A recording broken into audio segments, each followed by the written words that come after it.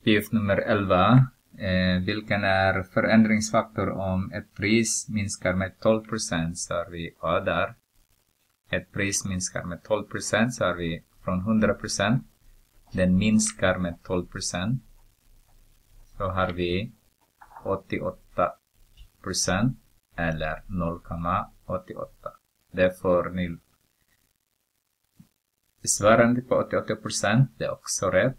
Svarande på 0,88, det är också rätt. Okej, okay. B. Eh, ökar med 5 procent. Nej, 5 promille till och med. 5 promille så har vi eh, 5 promille. Samma sak som 5 tusendelar.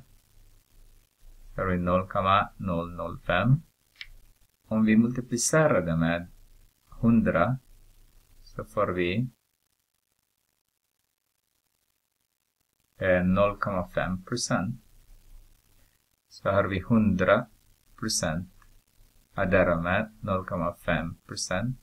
Så har vi 100,5 procent.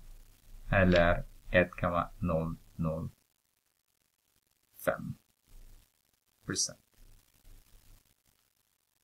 Naturligtvis det var fel där. Det ska vara inte procent. Det är redan nu eh, omvandlat i decimalform. Så det ska inte vara procent.